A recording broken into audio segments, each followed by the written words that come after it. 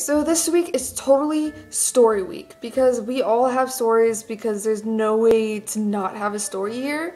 We're gonna be telling those stories. Actually, one. We're gonna choose one. Actually, you can find some other stories that I have to tell on my personal blog in the underbar if you want. There's like ones where I almost broke a hostel elevator door and the first time I got lost, which might be super helpful for you because when you're lost in a country where you don't know how to speak the language and you've never really been there before, it's important. I almost fell off a chair. It's important to, you know, to know how to react well to that situation. I'm gonna talk about my most embarrassing moment here. It was actually the first day I came here, the first few hours I was here, and then some. My most embarrassing story is when I first arrived. Before we go, I'm at the uh, departure orientation camp. It's two days long, basically, and yeah, they serve you dinner and lunch and breakfast, which I never went to breakfast because I know waking up that early, no, no. Anyway, so for for CBYXers, it's different. They have to stay with them for like a few more days. They come earlier. But for AFSers, you go there like I think two days before maybe. I don't remember. It was seven months ago. They serve you dinner and you have a room to sleep in. You have a roommate and stuff like that. Anyway, I didn't eat those two days. I mean, I ate, but I think I ate two things and they were really small. Like I think I had this really like one one twelfth size of carrot cake and I think I had some coffee and maybe a little bit of rice with um rice with rice with gamuza nine with um vegetables in it. But yeah, that's basically all I ate. And I couldn't sleep the night that we were um, staying in the hotel. I just couldn't. My roommate was sleeping, but me I had like a mid panic attack um, the night before so it was like 4 4 a.m. when I went to bed and we had to get up at 7 7 or 8 I just did not sleep either and the day before I came to the orientation camp I didn't sleep and on the plane which is 9 hours long and you're supposed to sleep on it it's dark that's why you're leaving at 7. The plane, I also didn't sleep. Like, a lot of people just didn't sleep, so I don't really blame myself on that one. But I also did not eat on the plane because fuck eating and I just didn't eat for like three days and I didn't have sleep for three days like good sleep maybe seven hours for three days so yeah it was shit was bad so I didn't notice it at all I'm like oh I'm tired but like you just have an adrenaline rush because it's like oh shit new country oh shit oh shit I was one of the first people to get picked up at the uh, Fr Frankfurt airport.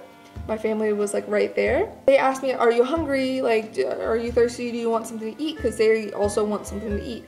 So we're at the airport and I'm like, oh no, I'm fine, but, but a Red Bull, that'd be nice. Little do I know that the Red Bull, um, I don't remember what it is, but there's the stuff that makes Red Bull, Red Bull, Red Bull, it's higher in Germany than it is in America. I don't know how much higher, but I think that could that was also what helped to what's about to happen. I drank the whole Red Bull because Red Bulls are, you know, really small. And we walk, we walk to the car, and then we're driving the car, and, we're, and I'm talking, we're convers conversing and stuff like that. And it's like 20 minutes happen, and I'm just talking, we're just, you know, having a good old time, and then like, bam, like nausea like a motherfucker. It was like, it was bad. Like, I, I'm like, oh shit. Like, oh, oh, oh shit. Oh shit. Oh, that was one word, oh shit. Just, it got really bad and I just like started shaking and like I felt like I was just gonna like vomit like a motherfucker. And I never get sick. I never like get queasy. I have never have car sickness ever. And I actually left them with the impression that I get car sickness easily, but I don't. I don't get sick easily at all. And now they're sitting here, and then and then they have they have car sickness pills, but I'm like, it's not car sickness, and I still don't. I'm like, why do, the fuck do I feel this way? And I think it's because I it's the smell the car, because you know I do kind of get get car sick, but it's only when I go in my grandma's car. So I'm like, shit, it's, it's the smell of the car. That's why I'm sick or something, because new environment. I don't know, but I'm sick. So they're like, have you eaten? Like, what have, what's going on? Like, have you eaten and what's up?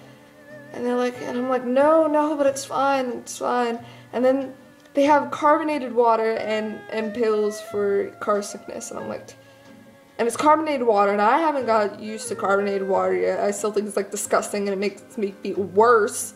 But I take it, I take the carbonated water, and I feel like I'm gonna throw up. Anyway, so we pull over, and then I go and lay down, just in like my shirt and pants. I don't have a jacket in in it or anything, and it's pretty cold because it's really windy. And I go and lay down um, at the stop that we were at, and they buy me a pretzel and some normal water and I can just barely eat. I have no appetite. I feel like I'm gonna throw up so I just like nibble at it like not even and it's just really bad and I get super just super duper sick. And then basically for the whole two hour ride to our city to our house I'm in the fetal position and I just feel like I'm just gonna vomit. We stop two more times so I can lay down my mom gets me like a blanket and it's really nice and it was like super sweet. And then we finally get home and I'm just, oh fuck.